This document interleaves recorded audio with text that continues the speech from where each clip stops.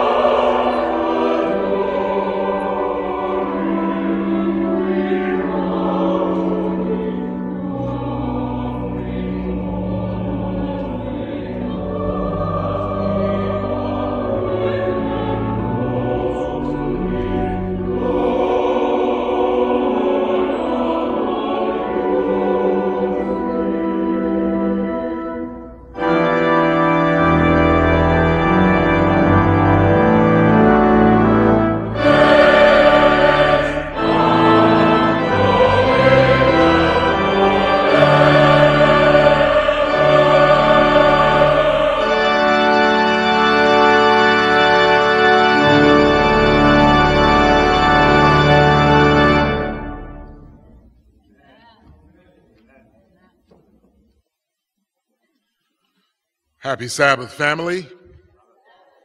Wow, we are a family, aren't we? Let me try that one more time. Happy Sabbath, church family. Oh, that sounds so much more like you're connected and you're being family today. What a privilege it is for us today to have our very first church family picnic for the new year. Isn't that wonderful? It's going to be right after church today in the Glen Oaks Park. Now, this is for all families, whether you are a family of one or 21. I'm inviting you, we're inviting you, our church is inviting you to come, bring your lunch. I, hope you brought it. If you didn't bring it, we'll work with you and we'll share, I promise. Bring your lunch over to the to the Glen Oaks Park right after church service today and let's fellowship together. And we're going to share some great time together, not just eat, we're going to talk and we're going to have some fun. We're going to have a few games and we're going to share a couple of tips to help us build strong families. Okay. So I want to see everybody there. There's plenty of room over at the Glen Oaks Park today after church. I also want to uh, remind you that next Sabbath, Sabbath school will have an interesting twist. We're starting something brand new. We're going to start with a courtyard breakfast. How many of you know where the courtyard is? Everybody. Hmm, that's why everybody is with their hands up, right? Everybody knows where the courtyard is, right? So next Sabbath, we're going to have a courtyard breakfast and right over there in the courtyard, you'll be able to come and fellowship. It's going to start at 9 a.m. in the morning. Have your breakfast here with us. Isn't that exciting that the church is inviting you to have breakfast and then we'll go right into our Sabbath school lesson. I'm excited about that. We want to see everyone here next Sabbath for our Sabbath school breakfast in the courtyard. And then next Sabbath, we also have Family Sabbath. And our service is going to be a bit different on Family Sabbath. It's going to be the first of every um, month. We, the first Sabbath of every month, it's a new tradition we've began here at the Vallejo Drive Seventh-day Adventist Church that on the first Sabbath of every month, uh, all of us, adults, young adults, youth, and children, will all worship together and so there'll be no children's church to next Sabbath. And I want to make sure all of you get to come and attend. The service is going to be a little bit different, a little bit more blended with some more contemporary music. And I promise you're going to really, really love it.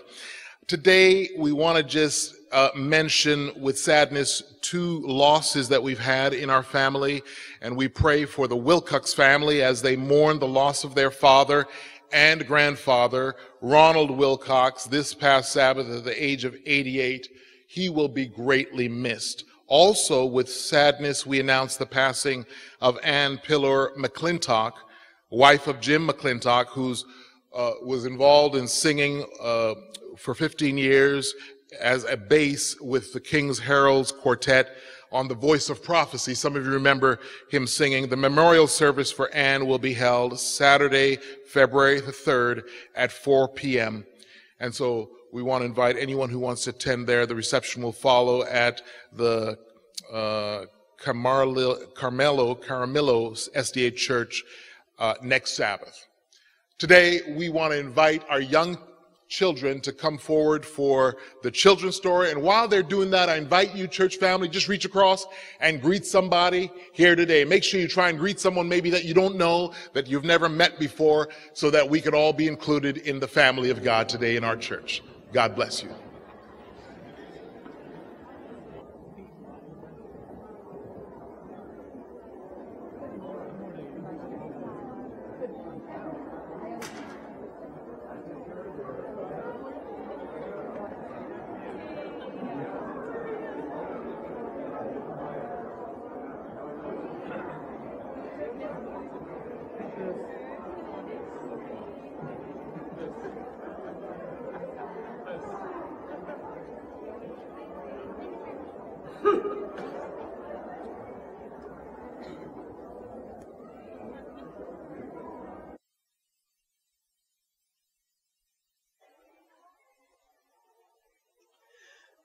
Well, good morning, boys and girls.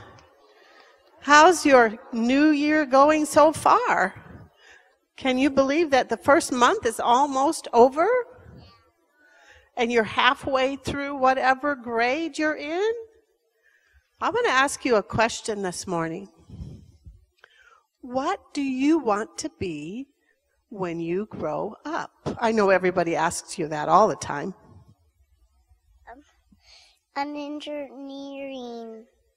He wants to be in, in engineering. I want to be a nuclear engineer. I want to be a veterinarian. I want to be an engineer. Anybody anybody else? I want to be an engineer. We have some smart ones here. Anybody else? Well, where do you think you're going to learn these things? Let's see. If you want to be an engineer, do you think that you would go to a carpenter school? No, why not? Because they don't know how to do engineering, do they? Wow. If you want to be a veterinarian, do you think that you would go to accounting school? Why not? Because they're not taking care of animals, they're working with numbers. Wow, let's see. Does anybody want to be a doctor? Some girls do. I like it. Well, if you want to be a doctor, shall you go to, hmm, A doctor's school. A doctor school, med school. If you want to be something, you have to go and talk to the people who know how to do that. And they will teach you what you need to know. Now, I want to ask you a question. What if you want to know all about God and Jesus? Where are you going to go? To church. To church. That's a great place to learn about God.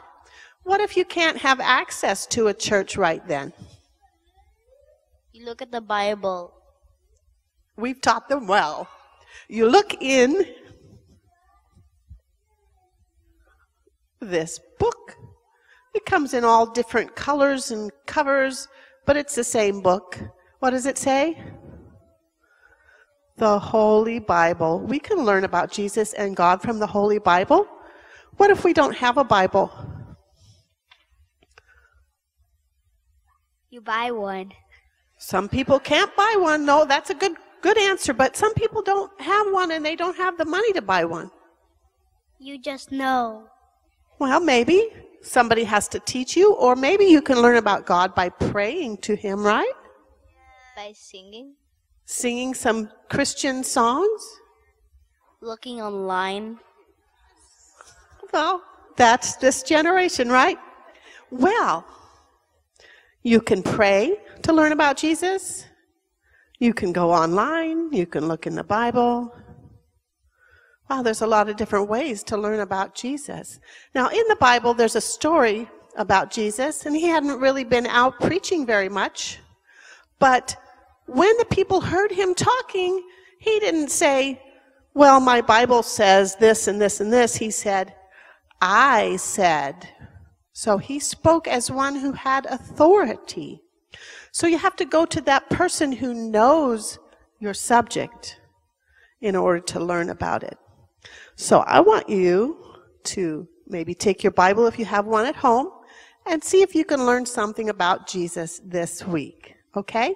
There is children's church, so try to walk quietly to children's church, ages 4 to 12.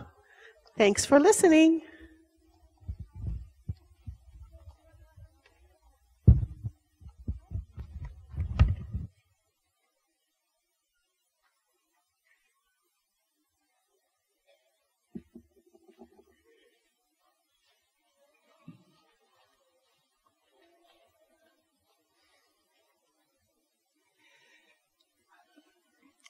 The offering this Sabbath is for religious liberty, and the loose offerings today are for the church budget.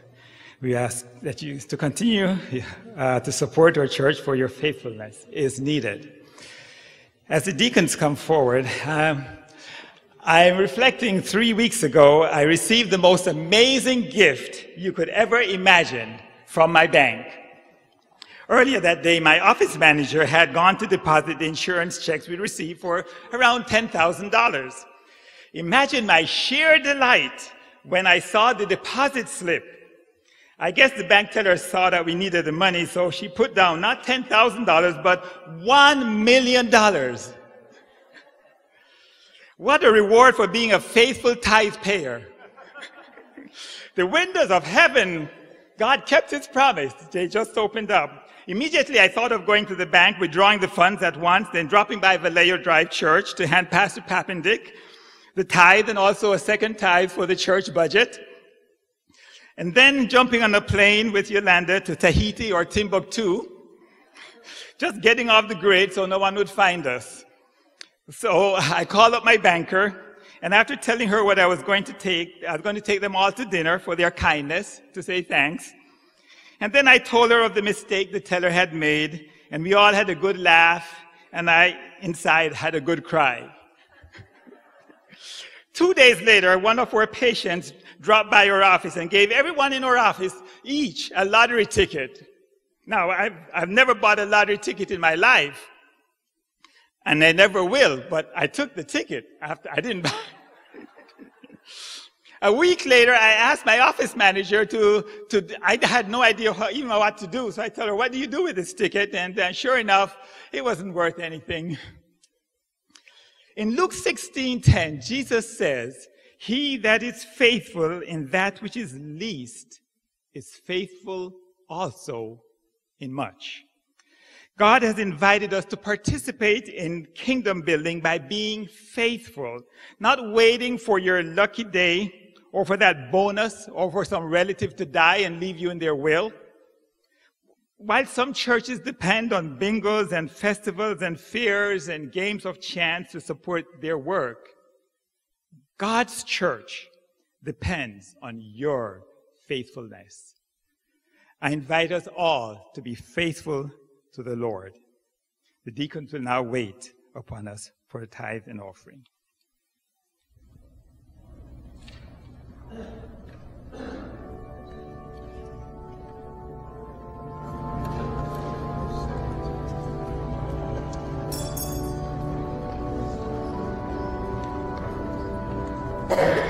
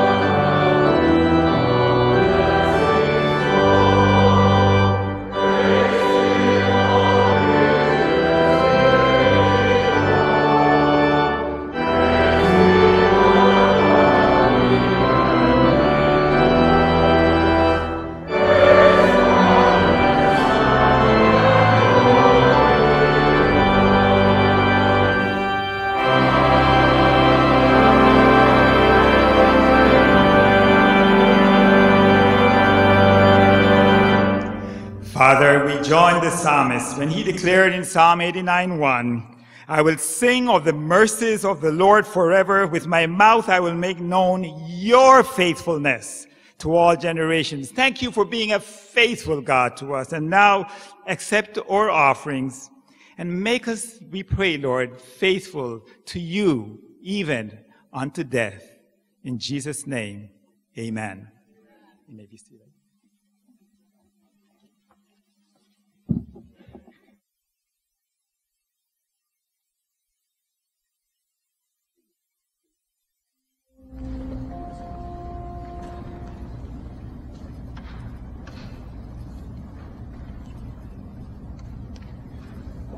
Amen.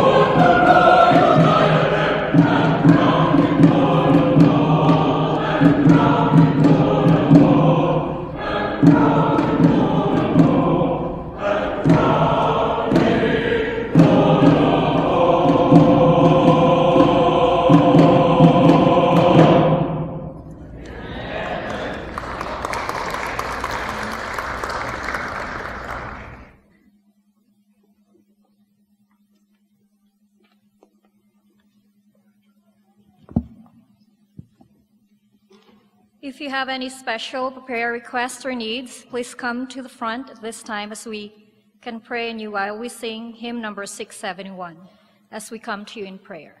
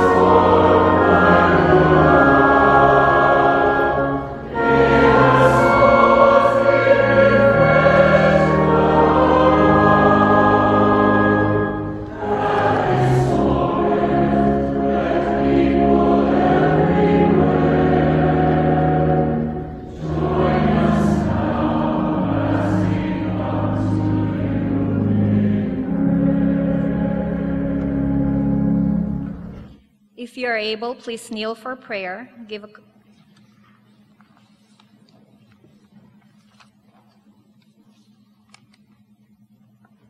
Let us pray. Dear Heavenly Father, we come to you this morning to give thanks for the many blessings that you have showered us, for the guidance, protection, grace, and mercy that comes unfailingly each day. We are aware that these gifts are underserving most of the time, but your love for us overshadows our sinfulness. You give it to us anyway. Thank you for the gift of Sabbath, a wonderful reminder to rest our weary body and soul as we give glory to your name, our Creator. We are gathered here this morning, some of us joyful for the events that have come about as planned, or even for the little things and big unexpected, circum- unexpected circumstances that made us smile the past week, that reminded us that we are here for a purpose when we, and we are grateful for this. Some of us are grieving, lost, looking and waiting for an answer.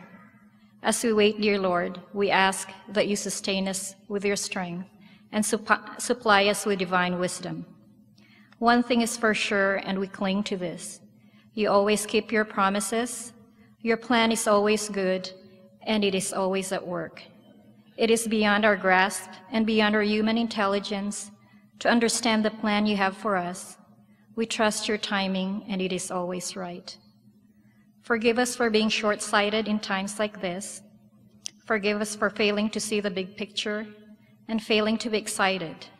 Remind us that it is through testing and through perseverance that a Christ like character is formed. Forgive us for forgetting that it is about you and not about us. You are the same and you never waver. Dear Father, be with our church on ongoing search for our senior pastor. Send us the right fit, prepare the right person for us as you work in us as well. I also pray that you will be with Pastor Luke as he delivers his word. May your presence be in the midst of us, enlighten us and teach us our and touch our hearts, that our character and behavior will be changed for good as we step out of your house today. Thank you for the delight you find in us. This we pray in your precious holy name. Amen.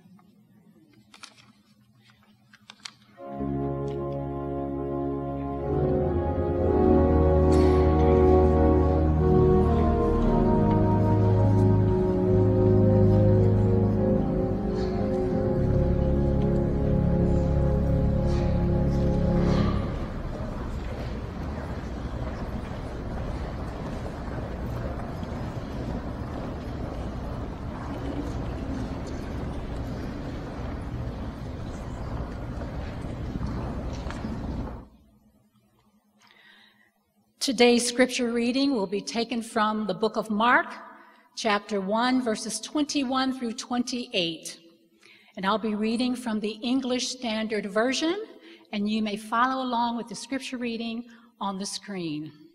And it reads And they went into Capernaum, and immediately on the Sabbath, he entered the synagogue and was teaching. And they were astonished at his teaching, for he taught them as one who had authority, and not as the scribes.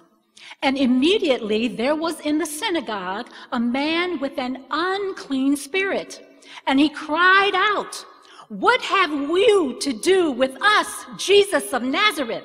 Have you come to destroy us? I know who you are the Holy One of God. But Jesus rebuked him, saying, Be silent and come out of him. And the unclean spirit, convulsing him and crying out with a loud voice, came out of him. And they were all amazed, so that they questioned among themselves, saying, What is this? A new teaching with authority? He commands even the unclean spirits, and they obey him.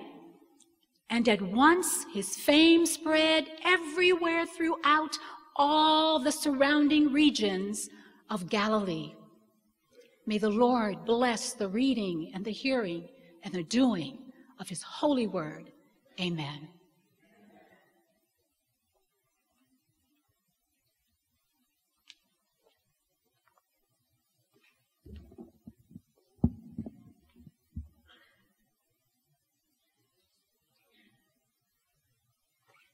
I've uh, called today's message Because I Said So. There's something so authoritative about that phrase, isn't there? Because I said so. I remember when I was a kid and I had all these rules imposed on me by my parents. Why can't I touch this? Why can't I eat that? Why can't I stay up until midnight? And I remember questioning my mum and my dad, saying, Why not? Why not? Why not? And I know that whenever my dad said, because I said so, I just knew that that was immediately the end of the discussion. See, my dad had this unquestionable authority that I just knew that I needed to accept. And so our scripture today tells us about the ultimate authority, someone with far more authority than my dad or your dad or anyone else. And as we're going to see, remarkable things happen when Jesus speaks. Why? Simply because he says so. So before we get into our gospel text that Yolanda just read for us, thanks very much. I want us to look at another text, which I think will provide some of the backdrop for the sermon today. So you're welcome to turn to this uh, part of the Bible if you want, or the words will be on the screens either side of me. The first text I want us to look at is from Deuteronomy 18, verses 15 through 18. Deuteronomy 18, starting in verse 15. This is Moses talking. And he says, The Lord your God will raise up for you a prophet like me from among you, from your brothers. It is to him you shall listen. Just as you desired of the Lord your God at Horeb on the day of the assembly, when you said, Let me not hear again the voice of the Lord my God, or see this great fire any more, lest I die. And the Lord said to me, They are right in what they have spoken. I will raise up for them a prophet like you from among their brothers, and I will put my words in his mouth, and he shall speak to them all that I command him. Now, let's be honest. I have to admit, I don't spend much time reading Deuteronomy, right? It's one of those books of the Bible that we're not as familiar with. It's kind of obscure, a little bit abstract, a little bit weird, right? But where we would tend to just like brush over this passage and just, you know, flip through the pages, I can tell you this passage is very, very important for Jewish people. Let me just tell you about the context here, what's going on in this passage. So, Moses is nearing the end of his career, nearing the end of his life, and he's giving the Israelites some final instructions just before they enter into the promised land. And as we read there, he promises that God is going to raise up another prophet after him, a very special prophet that they will need to listen to very carefully. Now, why is this kind of surprising? Well, for Jews, Moses is like the quintessential prophet. Moses is the prophet, the guy that all the Jews would proudly refer back to. You see, and, and every future prophet, all of their credentials were always measured against Moses. And if you were a rabbi and a teacher, and you wanted to get credibility with followers, if you wanted people to listen to you and become your students, you would always try and trace your teachers back to Moses. You know, if I wanted to be a rabbi, I would say to people, you know, well, I was taught by this rabbi, and he was taught by this rabbi, and he was taught by this rabbi, and so on until you reach right back to Moses. Yeah, we know there were other prophets. There was, you know, Elisha, Elijah, Isaiah, many others. But Moses, right? Moses was the guy that every serious teacher wanted to be connected to. So it's unusual then that Moses says what he does here. Moses doesn't say, just follow my instructions forever. Moses says, someone more important than me is going to come along. A prophet will arise, he says, who won't just be a spokesperson for God, but someone who will speak, someone who will embody the actual word of God himself. And so I think it's important that with that text from Deuteronomy as our backdrop now, our gospel passage makes a lot more sense and it packs a far more powerful punch. So if you don't have to, but if you want to have the gospel passage at your side, you can turn to it now. Again, it's in, it's Mark chapter 1, verse 21 to 28. If you want to have that on your Bibles or your phones, I invite you to as we look into, uh, into, into that in a bit more detail. And so what I want to say at the beginning is like, remember that Mark chapter 1, right? This is the very beginning of the gospel, and Mark is the first gospel that was written. So here we really have Jesus right at the very, very beginning of his ministry. Jesus is fresh on the scene, and Mark wants to show us just what kind of teacher Jesus really is. And so as we see there, Jesus goes to the synagogue on the Sabbath and he starts teaching. Maybe he's teaching Sabbath school. Maybe he's doing the, the main sermon of the day. Maybe he's running a small group. Maybe he's doing an afternoon seminar. We don't know. But there's something, something about Jesus' teaching that compels people to say, What is this? Here is a new authority that I've never seen before. You know, I like listening to Pastor Mark. I like listening to Peter and Shane, sometimes even to Luke.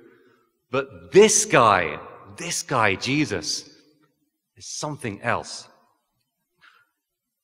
And maybe you think, well, what about the scribes? Weren't the scribes the best teachers that Israel had to offer? Well, yeah, they were. And the scribes were often administrative secretaries, or the scribes were, they were the best interpreters of the Bible. Some of the scribes were even lawyers, very smart people, the intellectual elites of society. And many of those scribes could, like I was saying before, many of those scribes would get credibility by tracing their teachers all the way back to Moses. But we're told that Jesus, Jesus doesn't teach like the scribes. Jesus teaches with a different authority. Now, interestingly, and I didn't know this before, but the Greek translation of this word authority in Mark chapter 1 is exousia. What does exousia mean? Well, ousia means substance, okay? And ex means out of. Isn't that an interesting and really powerful way of putting it? Jesus teaches, Mark says, out of his own substance. Mysteriously, Jesus is the very own source of his teaching. Does that make sense? See, every other prophet, even Moses himself, what would they do? Well, they would hear a message from God and then they would pass it on, right? But it was always in a kind of second hand way. A bit like if you've played that game telephone, right? You pass the message around but you're always telling it to someone secondhand. But when Jesus speaks, you're listening to the voice of God Himself. Now, because I always think in musical terms, and I think, Audrey, you have a, a slide to put up there, one of my favorite guitar players, uh, Jimi Hendrix. Have you heard of him? Well, let me give you this little analogy. This is how I think about this. Now, right, I could pick up a guitar right now and I could try my best to play you a Jimi Hendrix guitar solo. And not to boast, but I think I could do a pretty okay job of it. And how could I do that? Well, because I've watched some guy on YouTube, and he's watched another guy on YouTube, and that guy read a book about guitar players, and so on and on and on and on. And we could trace the teaching of that guitar solo right back to Jimi Hendrix, couldn't we? But here's the thing even if I played that solo note for note with no mistakes, you wouldn't be satisfied, would you? It wouldn't be good enough. It wouldn't be the real thing. It's not what you want. It would be secondhand. What you want to see, really, if you could, is Jimi Hendrix in his own substance standing here in front of you playing that guitar solo. See, the scribes and the prophets were masterful teachers, But Jesus, he was the real deal. That is why it's not good enough just to say that Jesus is one teacher among many. Jesus is not just another Confucius or Muhammad or Dalai Lama. Jesus is not even the best teacher. No, the claim of the Gospels is far bigger than that. That in Jesus is the substance of God Himself. That's why we say Christ is God's Word infleshed, incarnate, right? Okay, well, maybe you're thinking so far this is all theory, right? This is all fine. It's easy to say that Jesus has this new authority, whatever. But is it actually backed up by anything? Well, I find this interesting. You know, specifically Mark's gospel, Mark doesn't really tell us much at all about, about the content of Jesus' teachings, the things that he was actually saying. You know, you think of the Sermon on the Mount in Matthew, and you get the Sermon on the Plain in the Gospel of Luke. And where those guys spend a few chapters talking about, they expound on Jesus' teachings about everything anger, lust, divorce, oaths, giving to the poor, all of that detail about the teachings. In the Gospel of Mark, you get none of that. See, for Mark, it is the effectiveness of Jesus' teaching that really matters. And this automatically makes me think of my wife and her favorite love language. You know those five love languages? Her favorite love language is acts of service. She's not nearly as interested in the content of my words as their actualization. See, it's no good for me to say, yeah, I've really, really been thinking about putting up that shelf. And I've really been thinking about taking, up, uh, taking out the trash. And I've got some really interesting things to tell you about shelves and trash. No, she doesn't care about any of that. She says, I want to see you do it. Right? She's not interested in the content of my, of my thoughts about shelves and trash. And I think in exactly the same way, Mark, Mark's not nearly as interested in the content of Jesus' teachings as seeing his authority in action. What does it look like for this one who speaks out of his own substance? What does it look like for him to use that authority? In the second half of the reading, Mark tells us, doesn't it? A man possessed by a demon comes up to Jesus and shouts, What have you got to do with me, Jesus of Nazareth? But Jesus rebukes him and says, Demon, shut up and get out. And the demon shuts up and comes right out. Now, in the ancient world, getting rid of a demon took time and effort.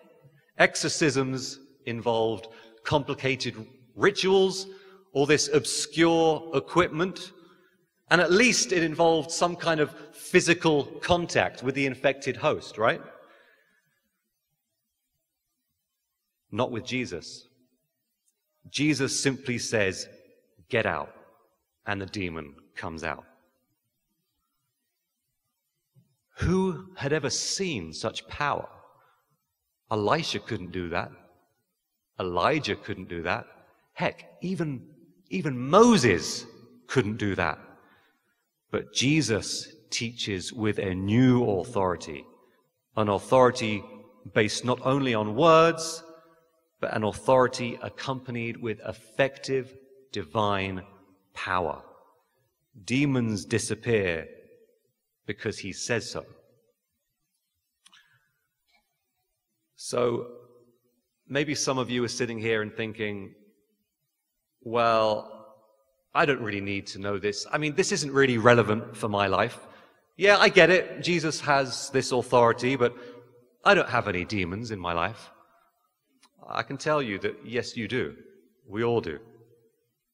See, another way of talking about demons is by calling them unclean spirits, a bit like Mark does here, right? calling demons unclean spirits. And as you know from your reading of the Old Testament, what does it mean for something to be unclean? Well, when something is unclean, it's the opposite of holy, right?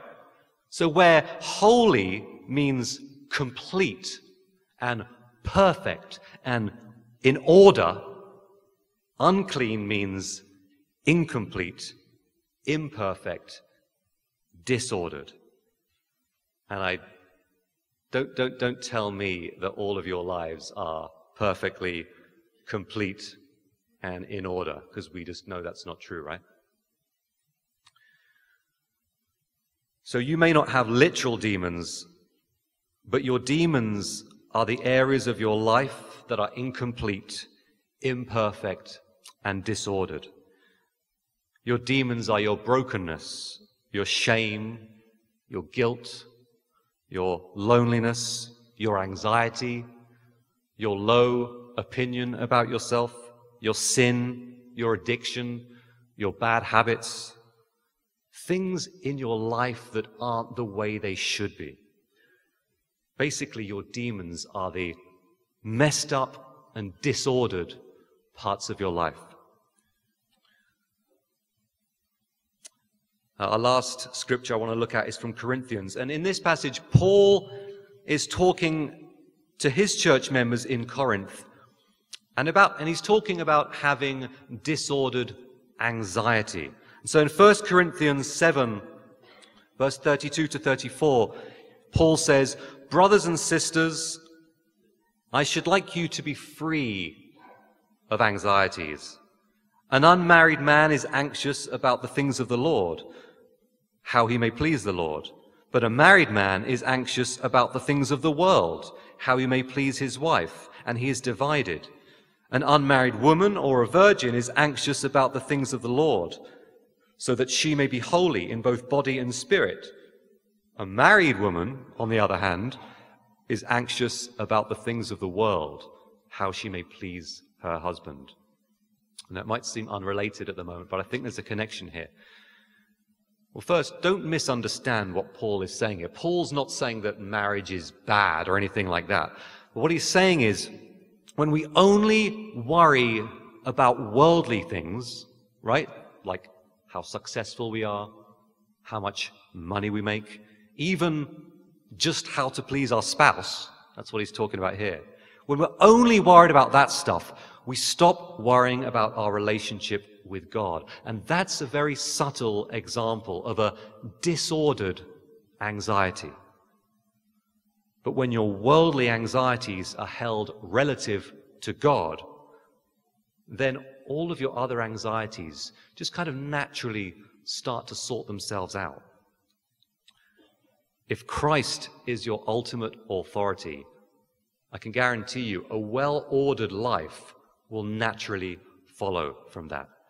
And we don't have the, the, final verse on the screen here, but right afterwards, Paul sums up that point in verse 35 and says, I say this for your own benefit, not to lay any restraint upon you, but to promote good order and to secure your undivided devotion to the Lord. So, disorder in your life can be hard to spot. And the reason why is because a lot of things aren't bad in and of themselves, but it's only when they become disordered. I think of the obvious example, it's something like soil, right? Soil is good and necessary when it's in a field, but soil in your house is dirt, right? It's about having things in their right place. Eating and drinking is good, but when it's disordered, it destroys your body. Sex is good, but when it's disordered, it becomes pornography, lust, adultery. Work is good, but when it's disordered, it becomes self reliance and greed. Self respect is good, but when it's disordered, it becomes arrogance and pride. So I really want you guys to ask yourselves and just hold this thought in your, in your mind right now. What are the disordered parts of your life. We all have them. Hold them in your mind's eye right now. What are the disordered parts of your life?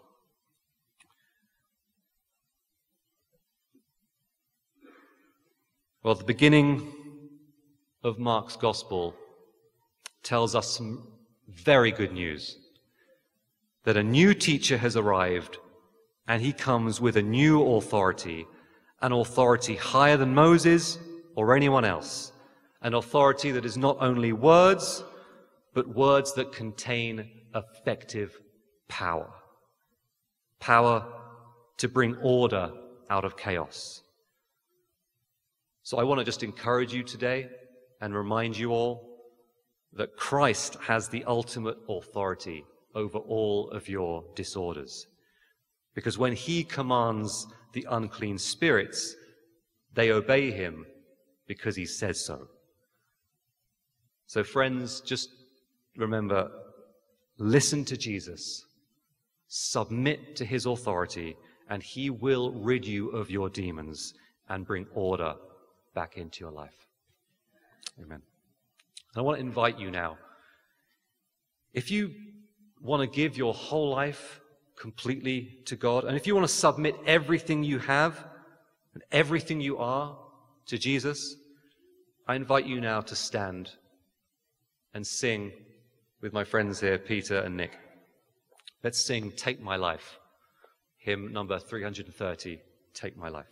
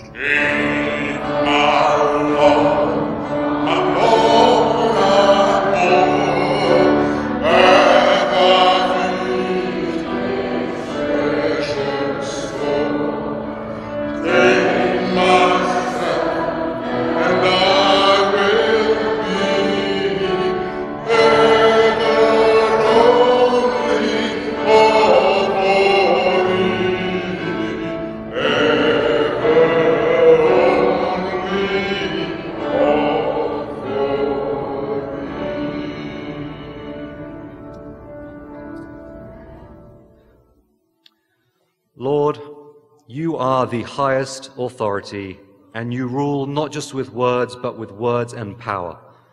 We invite you to take our lives, take our lives and shape them according to your will. May Christ cast out all the uncleanness and bring order to our disorder. Lord, may we leave this place eager to share that good news with a world that needs it. Amen.